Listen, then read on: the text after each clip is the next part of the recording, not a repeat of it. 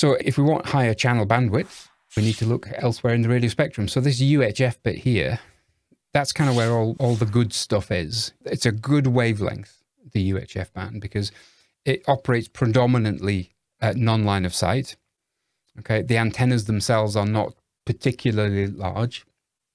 The power versus cost versus sort of benefit, if you like, is, is a reasonable set of compromises in that UHF band. And indeed, in that UHF band, somewhere between sort of 600 and 3000 megahertz, we've deployed pretty much everything. You know, so all the 2G stuff is in there, the 3G stuff is in there as well, and the 4G stuff has sort of all been deployed somewhere in that band. 5G isn't millimeter wave. Uh, you don't have to put it in the millimeter wave band. If you can find space in the UHF band, well, you can stick it in there. I mean, T-Mobile in America, for example, their first 5G deployment, their first layer in the network, if you like, is actually at 600 megahertz. Uh, now, obviously, what that means is they're building pretty large radio cells. But what it also means is that they can roll out the radio coverage very, very quickly. So they'll have a, a well covered 5G network.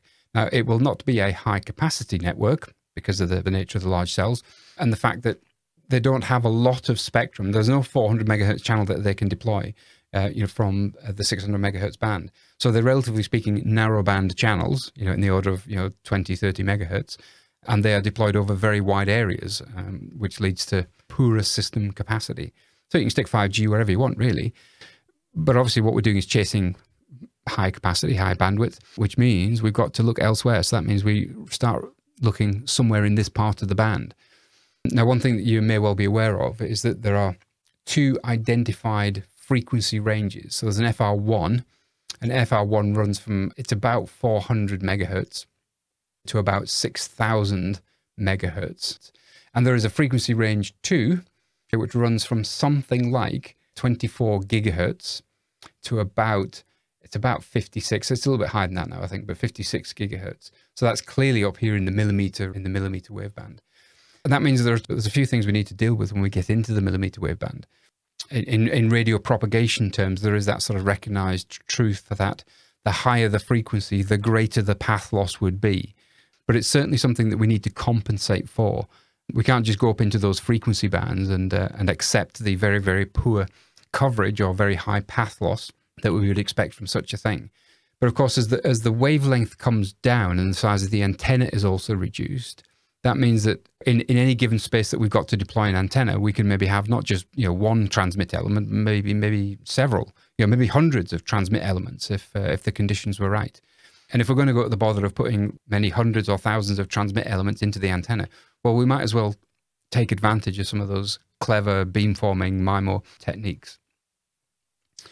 5G will go wherever you've got space. How much spectrum do you need? Well, as much as possible which is the best band to deploy your network in? Well, there isn't a best band. The best kind of um, network is one which has all of the spectrum bands, you know, some low, medium, and the very, very high frequencies all in the same network so that you can optimize a deployment either because you're trying to primarily solve a coverage issue or because you're trying to solve a capacity issue. It's very, very useful, of course, to have in your spectrum toolbox your long wavelength and short wavelengths that you can deploy all across the network. So there isn't any good or bad spectrum here. The only good spectrum is all of it. Right? You want all of it as much as you possibly can. So there are certain bands that are recognized in different parts of the world. So there's some FCC American bands there, there's European bands here.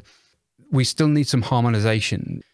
Strictly speaking, you can't just grab some random bit of spectrum and deploy your 5G network in there because, of course, you need to make sure that the devices you deploy in your network, so mobiles and base stations, that they have support for that particular spectrum band. And if you just got some your random bit of spectrum you had floating around somewhere, there's a pretty good chance that's not going to be supported by the most popular chipsets. So you'd have to go to somebody like Qualcomm and say, you know, please can you build me a chipset that will work in this odd frequency band? And they'll probably say, yeah, okay, but it'll cost you, you know, your ten billion dollars to develop the uh, the chipset. So it makes sense then for all of the operators, regardless of their location in the world, for everybody to agree upon a set of harmonized frequency bands. And then whoever's building the chipsets for the base stations or for the mobiles, you know, we can build support into those chipsets for those harmonized bands, and then the cost will come down. The chipsets for 5G will reduce in price probably well below the typical cost of an LTE chipset because the number of devices that we're going to build for 5G will be one to two orders of magnitude greater than we ever built on LTE. Because if the whole machine type communication market kicks off, then there will quite literally be tens of billions of things which will be connected. And when you start building tens of billions of things, then the cost can be made uh, relatively cheap, provided that we can find a good bit of spectrum to put them in and harmonization of those spectrum bands.